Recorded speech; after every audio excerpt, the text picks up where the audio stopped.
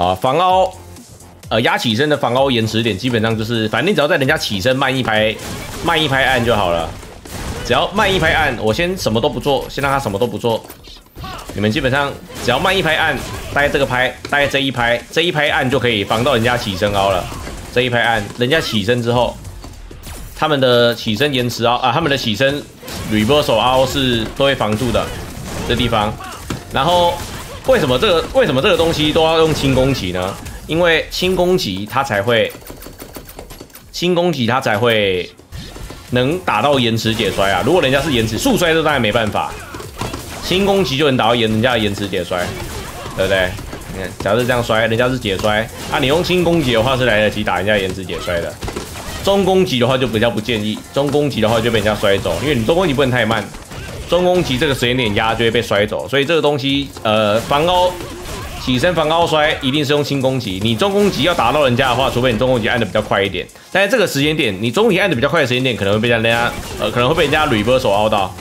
那大概是慢一点点的情况下按中攻，因为他们同时发生的话是摔会比较摔会比较强，所以你用这个东西用中攻击去压的话，就会比较容易失败。所以如果你们要防凹压起身的话，尽量用轻攻击好一点。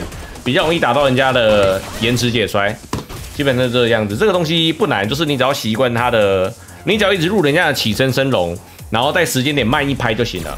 就人家起身升龙了，慢一拍就行。这个东西起身升龙了，慢一拍，只要再慢一拍按就行了。这个东西其实蛮好练的，慢一拍按，这个东西没有很难，只要只要人家的起身时机就行。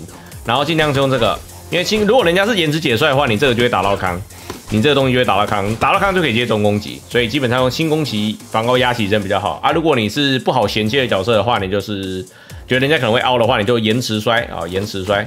如果关角落的话，就要延迟前摔，这个东西也蛮重要，延迟前摔，就你先防到最后一个，比如说你这样弄倒，防凹蹲着，然后要摔的一瞬间放开摇杆，要要凹呃要要摔的一瞬间放开摇杆，这样子延迟，然后摔放开摇杆，这个样子。